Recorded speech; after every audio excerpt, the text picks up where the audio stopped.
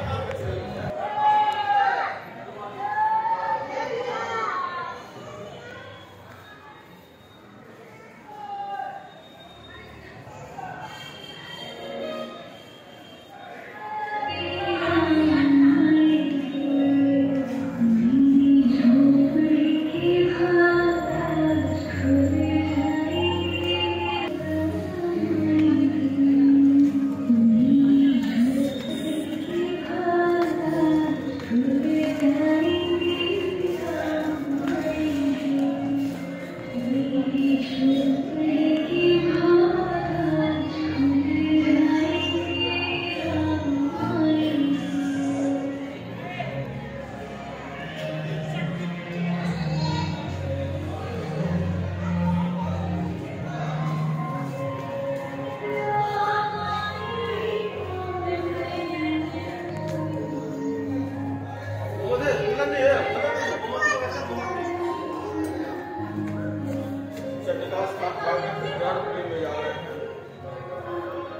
माता का श्रृंगार पूजा होगा।